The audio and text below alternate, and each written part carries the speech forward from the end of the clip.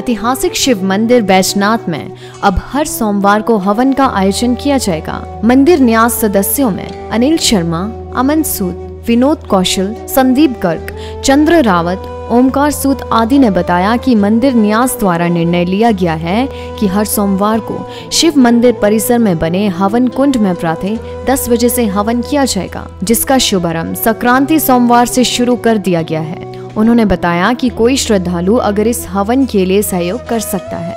न्यास सदस्य अनिल शर्मा ने बताया कि शिव मंदिर में हर सोमवार को हवन किया जाएगा, जिसकी शुरुआत संक्रांति से कर दी है।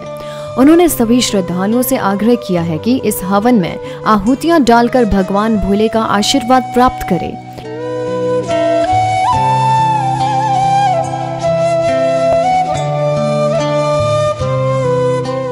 बैनाथ मंदिर में संक्रांति से हवन की शुरुआत की गई है और इस बार भी ये हवन किया गया। लोगों में भारी आस्था देखी जा रही है। लोग आहुतियाँ डाल रहे हैं और भगवान शंकर को प्रसन्न किया जा रहा है। लाइफ टाइम्स टीवी के लिए बैचनाथ से कमल गुप्ता की रिपोर्ट।